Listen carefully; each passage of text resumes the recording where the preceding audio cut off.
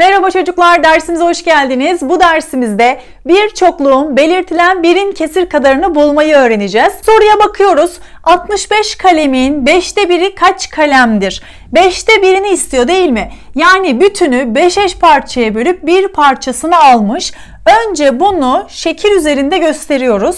Şekil üzerinde gösterirseniz işiniz daha kolay olur. Her zaman için kesirlerde mutlaka bir bütün çizin ve ne kadarını almanızı istiyorsa o kadar kısmını boyayın. 5 eş parçaya böldük bir parçasını boyadık.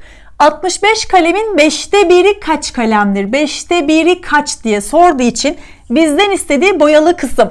Bu kısmı bulursak cevaba ulaşırız. Buradaki parçalara kaç kalem gelecek onu belirleyeceğiz. Bütünü 5 eş parçaya böldüğümüz gibi bütün kalemi de 5 eş parçaya bölüyoruz. Yani 65'i de 5'e bölüyoruz. Bir defa var. 15'te 5 3 defa var. Her bir kutuya, her bir parçaya 13 kalem geliyor.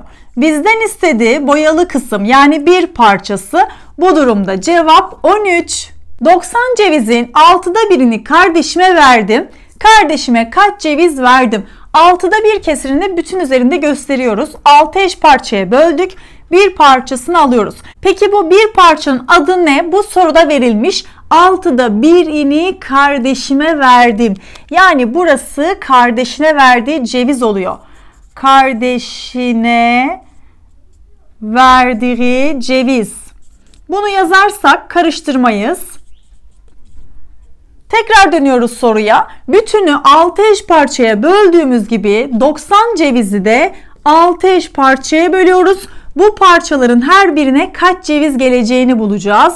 Bir defa var, 5 defa var. Her bir parçaya 15 ceviz geldiğini bulduk. İçine yazıyoruz. Soruya tekrar döndük. Kardeşime kaç ceviz verdim? Yani boyalı kısmı istiyor bizden. Bu durumda cevap ne olacak? 15. 56 yumurtanın dörtte biri kırıldı. Kaç sağlam yumurta kaldı? Burada dörtte bir kesir verilmiş. Bütün üzerinde gösteriyoruz. 4 eş parçaya bölüp bir parçasını aldık. Peki boyalı kısmın adı ne? Boyasız kısmın adı ne? Soru bizden nereye istiyor? Bunu mutlaka yazmalıyız. Dörtte biri kırıldı. Bakın bir parçası ne olmuş? Kırılmış. Bunu yazdık. Peki boyasızlar ne peki? Sağlam olanlar değil mi? Sağlam yumurta diye yazıyoruz.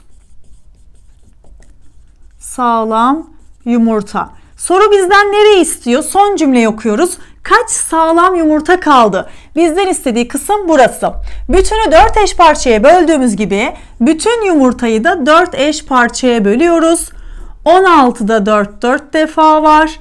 Her bir parçaya 14 yumurta geldiğini bulduk. Şimdi geldik son aşamaya. Bizden istediği sağlam yumurta yani boyasız kısımlar olduğu için iki yöntemle yapabiliriz. İstersek tüm yumurtalardan kırılanları çıkartıp sağlamları buluruz. Yapalım.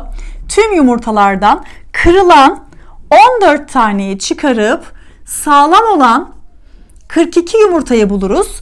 Ya da boyasızları istediği için kaç tane kutu var burada boyasız? 3 tane. 3 ile 14'ü çarparak sağlam yumurtaları bulabiliriz. İki yöntemden istediğimizi tercih edebiliriz. Dersimiz bitti. Görüşürüz.